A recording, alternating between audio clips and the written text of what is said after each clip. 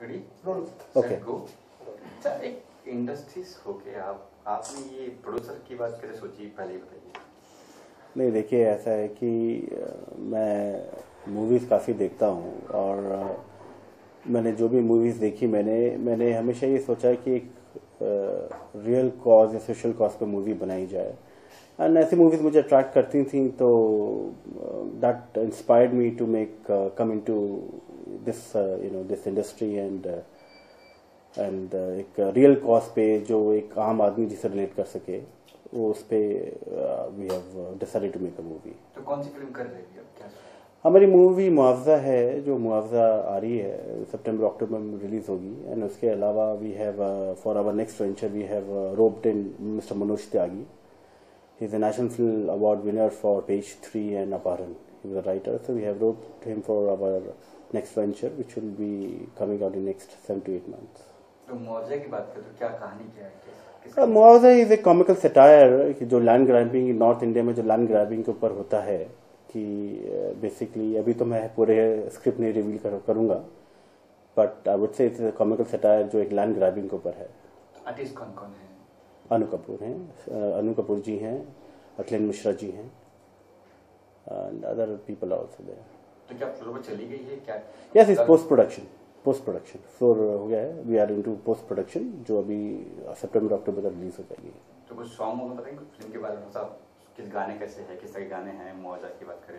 क्योंकि आज का दौर चल रहा है मुन्नी और शीला का दौर चल रहा है सिर्फ़ गाने वगैरह है या फिर अपने की बस यही मुआवजा की कहानी है तो? नहीं मैं समझता दौर कैसे का नहीं होता। किसी का कोई कांट यू नो स्टीरियोटाइप कर सकते हैं। जो मूवी हिट होगी गाना उसी का हिट होता है।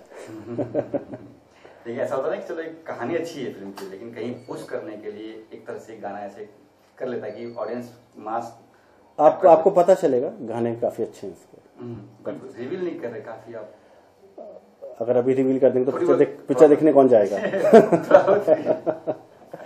मैंने वो बोले कॉमिकल सटायर के ऊपर है जो लैंड ग्रैबिंग के ऊपर होता है कि लैंड ग्रैबिंग के बाद बस इतना ही मैं रिवील कर सकता हूँ। It's a very comical movie गाने अच्छे हैं। And I very confident the movie will be will appeal to the masses next project मैंने अभी कहा जो स्क्रिप्ट है उसकी फाइनलाइज हो रही है। हम्म। तो उसको मैं जो है ऑलमोस्ट फाइनल होगी। वो भी एक सोशल कॉज है।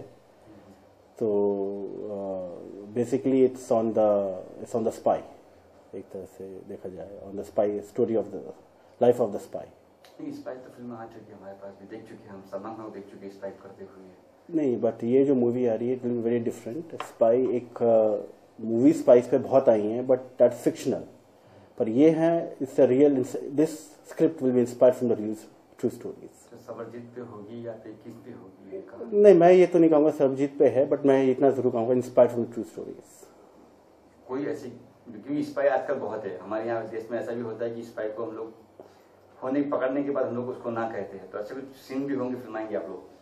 स्पाई की बात करें तो हमारे कई बार ऐसा होता है कि पकड़ लेते उनको। जैसे हाँ। पाकिस्तान पकड़ लिया उनको। हाँ, हाँ। तो हम लोग ना कहते इंडियन कहते कि हमारा कोई स्पाई नहीं है वो।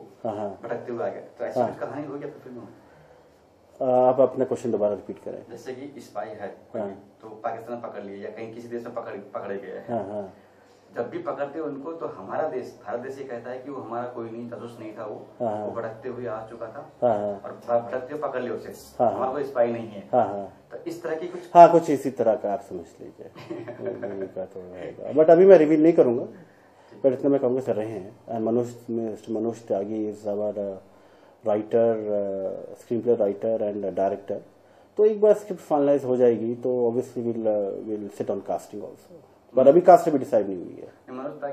फ़िल्म हो राइट राइट तो वैसी तो कुछ ज़रूर झलके आएगी मतलब हमें हाँ बिल्कुल बिल्कुल। You will really enjoy that story that movie because हमने लिया ही मिस्टर मनोज त्यागी को है because he is a writer who appeal to the masses he can understand the pulse of the masses तो अभी आपने ये सोचा कि ये मास भी बनाएँगे कोई फिक्शन फ़िल्म सोचेंगे? फ्यूचर प्लान ये भी करेंगे हाँ चलो कोई फ्यूचर फ्यूचर प्लान तो कॉमेडी भी है थ्रिलर भी है हॉरर भी है। तो ऐसे तो बहुत प्लान्स हैं। Yeah yeah okay thank you sir thank you thank you